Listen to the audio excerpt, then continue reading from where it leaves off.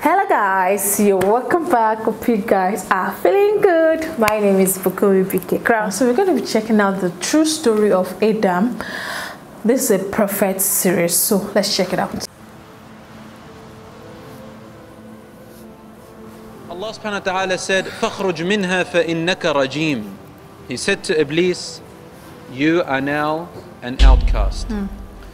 Then Allah subhanahu wa ta'ala now turns to Adam alayhi salam and he says to him to live in a place which he called Jannah. Adam alayhi salam was in paradise alone at first. Hmm. And Felt lonely. it says that istawhash, meaning he felt lonely. And he didn't know what this loneliness was from. Hmm. So one day, Adam alayhi salam found, it says that he was napping. He found before him his wife Hawa, How? a woman. You got. And his loneliness immediately faded, it went away. And he asked her, Man anti, who are you? She said, خَلَقَنِ اللَّهُ لِتَسْكُنَ إِلَيْهِ Allah created me so that you can find your peace and tranquility with me. He said to Adam alayhi salam and Hawa about Jannah, he said, وَكُلَا مِنْهَا حَيْثُ شِئْتُمَا Eat from this paradise anything you desire. Anything at all you desire, take it from Jannah. But there was one condition, as we all know. Hmm. Allah had said, stay inside Jannah, you've got all of these things to enjoy. But this one tree, you don't eat from this one tree, the forbidden tree in Jannah. Shaitan came and he tricked them, he tricked them by saying, Wallahi. And he said, Wallahi, by Allah, I swear this is true. He started to glamorize what beautiful things could happen to them if they ate from that tree. Allah did not say don't eat from it. He didn't say don't touch it. He didn't say don't sit un- under it. He said وَلَا تَقْرَبَا Don't even come near it. Yeah. فَتَكُونَ مِنَ الظَّالِمِينَ You will both become among the ones who have oppressed. you will do injustice to yourselves. And so Iblis made Adam alayhi salam and Hawa think of the tree. Think of the tree. Think of the tree. So he said, O Adam, O Eve, Allah hasn't told you to stop eating from this tree except there's a secret behind this tree. Hmm? You eat from this tree, you will become like the angels. You are mortals. You will die one day. If you want to have an everlasting life, then you eat from this tree. إلا أن تكون ملكين أو تكون من الخالدين. He said, You will be everlasting, or you will become like the angels. Your mortal bodies will change to angel bodies. And to sum it all up, to put the icing on the cake, he said, Wallahi! He said, think about it. God did not forbid you from that tree except that Satan. it's going to turn you into angels. Hmm, deception. Then he told them, God did not forbid you from the tree except that you will live eternally. He started making up all these Different. Different. possibility. possibilities. Adam alayhi salam being a prophet, Adam alayhi salam never heard anyone lie ever in his life. Ever. Ever heard anyone lie. And he fell for it. And so did Hawa alayhi salam. She fell for it. And they ate from the tree. And when they ate, بدت لهما سوآتهما their clothes disappeared and it was very embarrassing for them. What happened at that moment when they ate from the tree? There was actually a concealing, there was a part of their body, which was their aura, it was concealed with light, with nur. They weren't naked running around. When they took from the tree, that nur went away. And so they were naked. Suddenly, the shame came to them. From what? From less covering, less concealment. This is because every sin, my dear brothers and sisters, leads to immorality. It leads us to desensitization. And straight away they took وَطَفِقَا يَخْصِفَانِ عَلَيْهِمَا مِنْ وَرَقِ الْجَنَّةِ They took the, the large leaves of paradise and they started to cover themselves. And Allah said what? أَلَمْ أَنْهَكُمَا عَنْ تِلْكُمَا الشَّجَرَةِ Did I not tell you, O Adam, did I not tell you, O Eve, that I warned you from eating from this tree? Why? بأقول لكما إن الشيطان لكما عدو مبين that the shaitan, the devil, he is your open enemy. Did not tell you this. They fell into embarrassment. What could they say? They said, ربنا ظلمنا أنفسنا وإن لم تغفر لنا وترحمنا لنكونن من الخاسرين. Oh our Lord, we have wronged ourselves. And if you don't have mercy on us, if you don't forgive us, then we will be of the losers. Hmm. They realized their mistake, but it was too late. And now they had to bear what will happen to them. So they got sent down to the earth. So our father and mother, Adam and Hawa, were finally expelled from the Garden of Eden, as Allah explains it in the Quran. Yeah, similar to the Bible. And so Allah subhanahu wa ta'ala, He warned us. He warned us from the shaitan. And He said, Beware of him, he is your enemy. Look at what he did to your father and mother. He took them out of Jannah when they were once in there. Do not let him take you out of it. In other words, don't let him stop you from entering it. Adam and Hawa, that were sent down to earth. Allah says, قَالَ اهْبِطَا مِنْهَا Allah said to them, descend from it. And they were sent down to this earth, and Allah subhanahu wa ta'ala said to them, I shall be with you, I will guide you. If you need me, I'll be there. In one narration, it says that Adam alayhi salam landed in India. Adam alayhi Really? salam, he came down Are to you sure earth he's in and India? landed in India. Wow. And Hawa in Asham or near Mecca in that area. Huh? Allah knows best. There's differences of Quran? opinions, but what we do understand is that they came down in separate places. And so they began the search for one another. This search, my dear brothers and sisters, is inherited. Today, when people are searching for their spouses, Adam alayhi salam and Hawa searched for each other. فَتَعَارَفَا بِعَرَفَاتٍ They became acquainted they found each other on the mountain of Arafat. That's the name of the mountain, the mountain of acquaintance. And there, my dear brothers and sisters, they renewed their life here on earth. There's a difference of opinion about how long Adam a.s. and Hawa stayed in paradise. We don't know exactly. But the majority of scholars agree that it was more than 40 years, at least. And he lived on earth for about a thousand years. Hmm.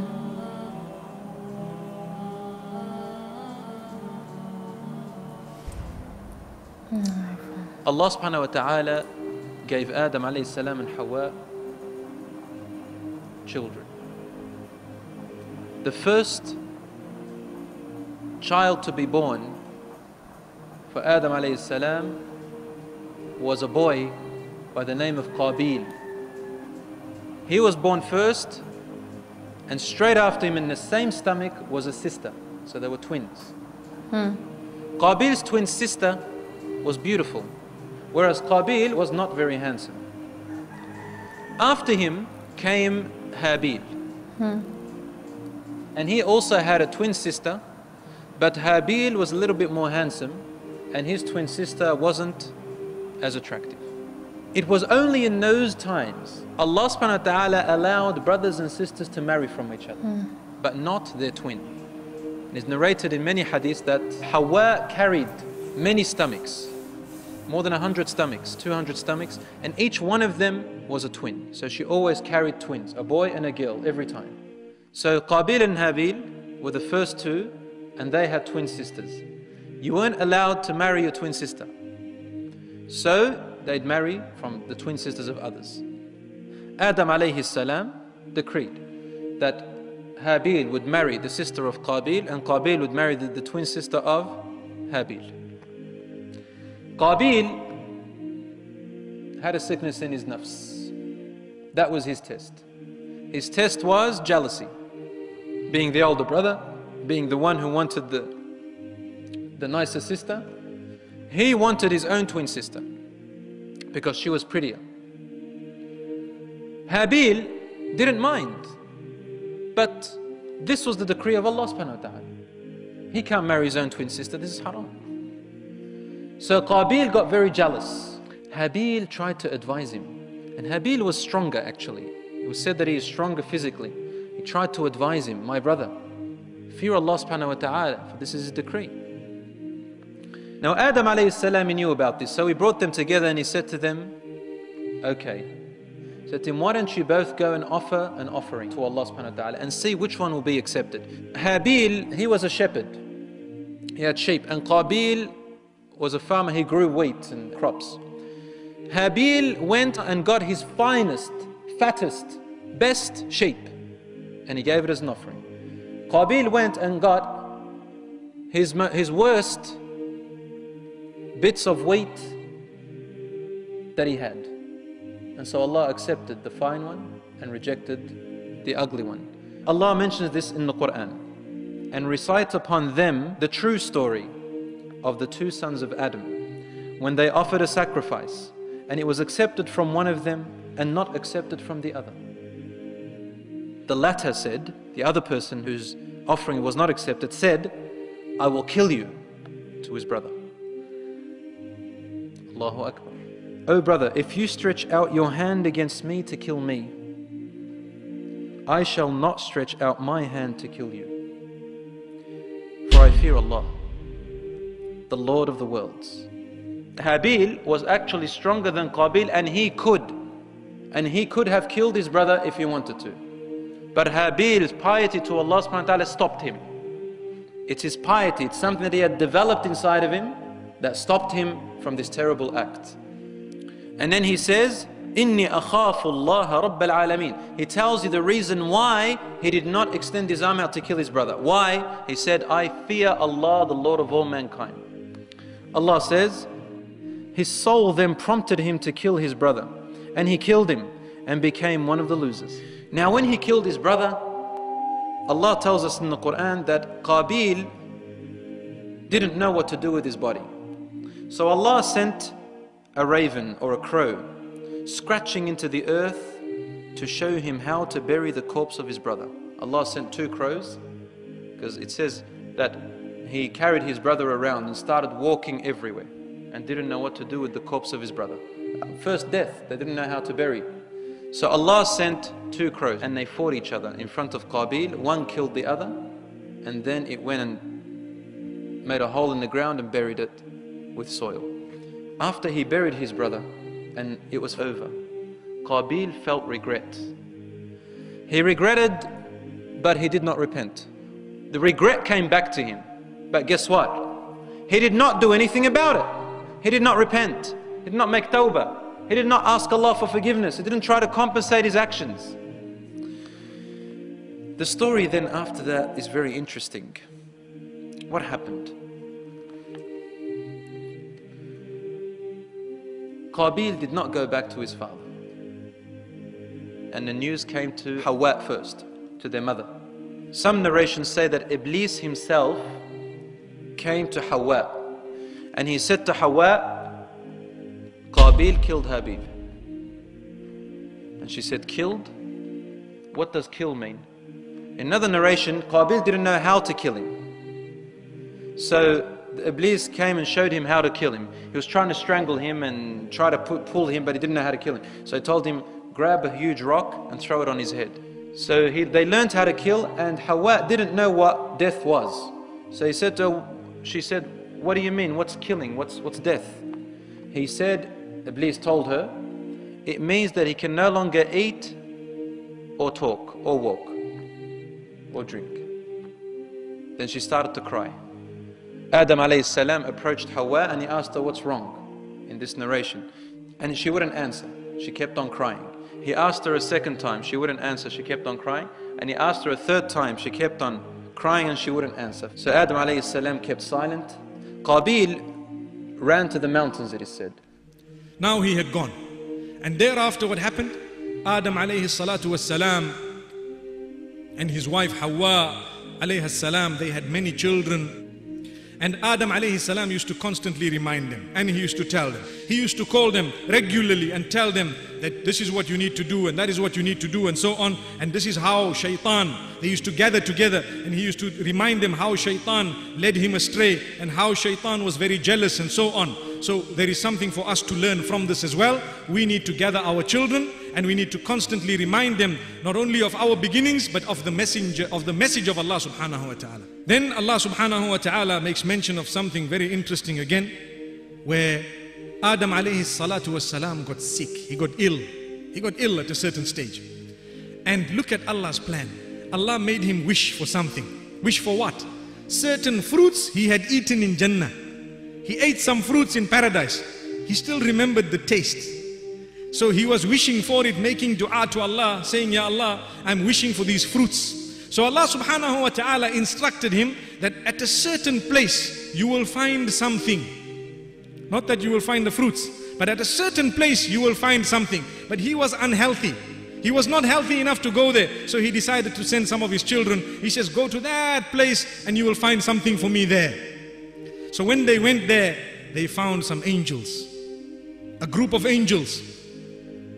These angels told the children of Adam, We are angels and we want you to go back to your father.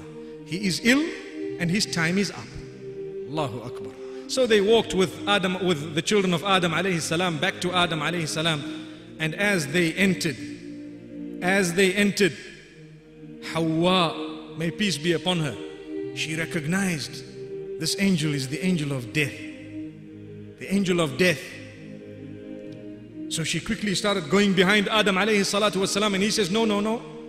Don't worry, move away. I was created before you. He was not worried. Now why am I going and so on. He gathered his children on his deathbed and he reminded them saying, Allah will send messengers to you. He will not leave you alone. He will send messengers to you and messages. These messengers will come, different languages, different names, different dialects, but their message will all be one, calling you to worship one Allah, the one who made you, and to stay away from the devil, and to be careful that the biggest crime anyone can commit is to associate a partner with the Creator. And after he reminded his children, the angels took his soul away and he passed away. And he passed away happily. He was happy to go. Why was he happy to go? Very interesting. I think that's a lesson. When I was reading about it, really it brought tears to my eyes. He was happy to go because he knew he is going back to that heaven that he came from. He knew he's going back to Allah subhanahu wa ta'ala and he was happy to go because he had problems here on the earth. He had tests, he had difficulties. He first hunted for his wife, then he had the problems with his children and so on. And now he had to taste death, but that death was getting him to Allah subhanahu wa ta'ala. And from this there is a narration. Allah subhanahu wa ta'ala tells us through the lips of Muhammad sallallahu alayhi wa sallam, Tuhfatul mu'minil mawtu.